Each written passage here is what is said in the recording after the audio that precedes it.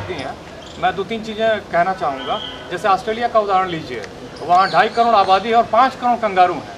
कोई भी समाज इतना क्रूर नहीं हो सकता अपने सबसे वंचित तबके के खिलाफ। पाँच करोड़ कंगारू हैं ऑस्ट्रेलिया में। वो लोग उनको प्रेम करते हैं उनको पालते हैं पोसते हैं। छोटा सा एग्ज़ाम्पल था। अभी ये नौकरियों की बात कर रहे हैं।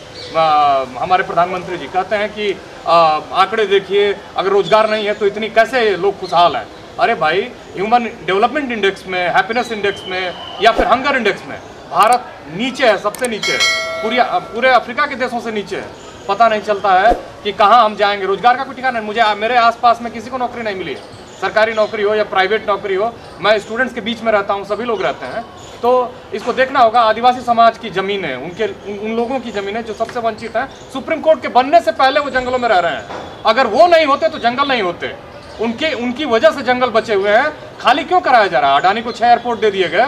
खाली इसलिए कराया जा रहा है ताकि बाक्साइट माइनिंग हो, नियमगिरी में, मलकानगिरी में, उड़ीसा में, झारखंड में, पश्चिम बंगाल के आदिवासी इलाकों में, छत्तीसगढ़ में खुलेआम लूट, नंगा लूट कारपोरेट का अडानी, अंबानी और जिंदल।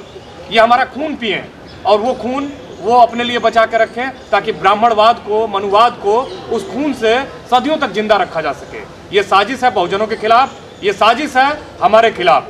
ये ये हमारी कीमत पर इस देश के पंद्रह परसेंट लोगों को आ, आगे बढ़ाया जा रहा है। हम लड़ेंगे साथी इस उदास मौसम के खिलाफ लड़ेंगे।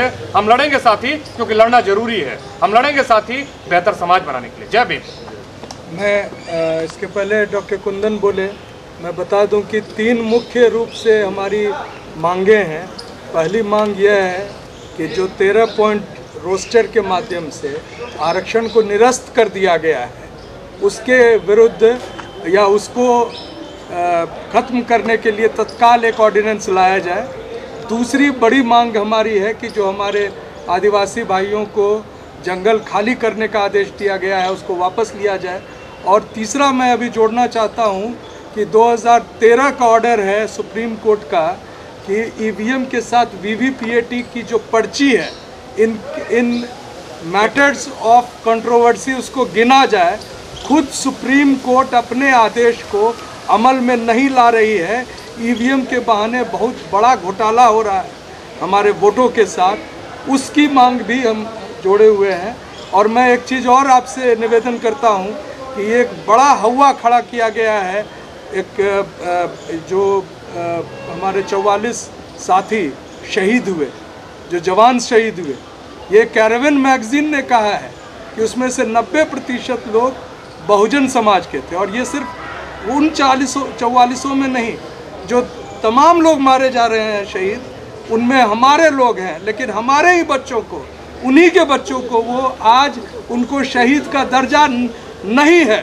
पैरामिलिट्री फोर्स के हैं, कॉम्बैट में नहीं मरे हैं। उनके जो विधवाएँ हैं, उनके जो बच्चे हैं वो आज भी जो हेमराज, जिनके सर को लेकर मोदी जी घूमे थे पूरे देश में वोट के लिए, आज वो उनके जो बच्चे हैं ऑफ़िस, दर ऑफ़िस भटक रहे हैं। और ये बहुत ही दुखद स्थिति है। हम अपने जवानों के साथ हैं, हम अपने देश के साथ हैं, लेकिन मोदी के साथ नहीं है। ये बात बताने के लिए पाँच मार्च को हम सड़कों पे होंगे। हमारा कंक्लूडिंग रिमार्क डॉक्टर कुंदन ने दो बातें मैं करना चाहूँगा खास तौर पे। अभी आदिवासी समाज की अगर बात की जाए तो हमें इतिहास को पढ़ने को पलटने की ज़रूरत है। अठारह सत्तावन क्रांति के पहले आदिवासी समाज ने अंग्रेज़ों के खिलाफ आवाज़ उठाई थी। तिलका माझी का नाम आता है। और उस आदिवासी समाज के साथ सरकार हमारी क्या कर रही है? क्या कर रही है? एक तरफ़ जंगलों से उनको हटा रहे हैं, दूसरी तरफ़ यूनिवर्सिटी में अगर नहीं आने देंगे तो क्या करेंगे? आप उनको सिर्फ़ झींगा लाला झींगा लाला कराना चाहते हैं उनके साथ? मजदूर बनाना चाहते हैं उनको? दूसरी बात थर्टीन पॉइंट रोस्टर भी उसी कड़ी का एक हिस्सा है। जिसमें ओबीसी समाज, एससी समाज और एसटी समाज को फांसी पर लाकर खड़ा कर दिया गया है। संसद में जावेडकर साहब ने कहा था कि एक सौ अंठावन सीटों का एडवर्टीजमेंट हुआ था खासतौर पर थर्टीन पॉइंट रोस्टर जब जजमेंट आया था। उसमें से एक भी सीट किसी भी रिज़र्व कैटेगरी को नहीं गई थी। वो एससी का हो, ओबीसी का हो या एसटी का हो। और उसके बाद लगातार वो बोलते रहे कि हम लोग ऑर्डिनेंस लाएँगे ऑर्डिनेंस लाएँगे।